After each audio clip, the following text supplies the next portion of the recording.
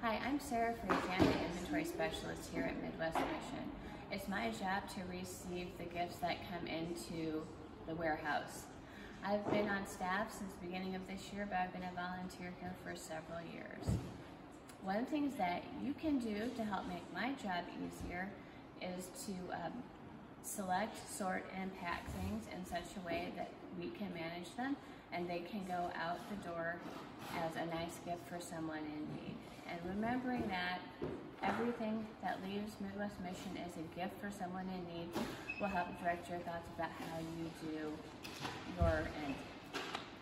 Uh, one of the things that you can help do is, is pack things in manageable sized boxes.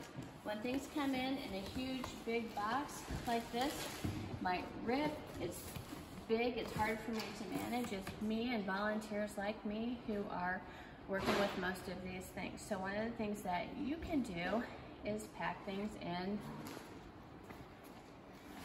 maybe a more manageable size box that protects the items from being broken or smashed or spilled.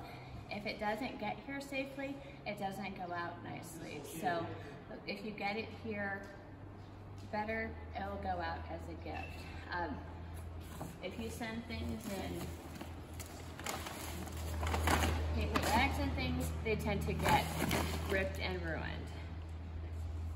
When you're sending stuff like this, if you make sure that it's in a package upright, it will be less likely to spill on uh, other things, which if it spills, it makes that thing unusable, and it also ruins other things in the package.